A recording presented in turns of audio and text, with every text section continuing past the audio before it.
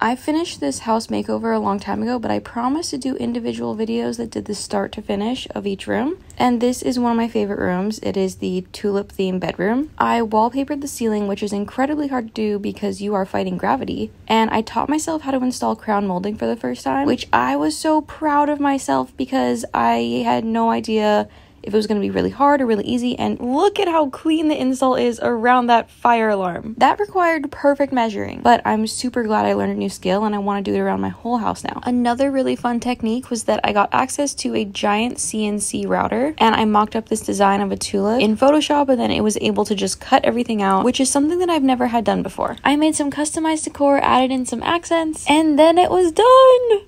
Oh, and then the chandelier and the sconces are matching blown glass, obviously tulips. And ta-da, here it is.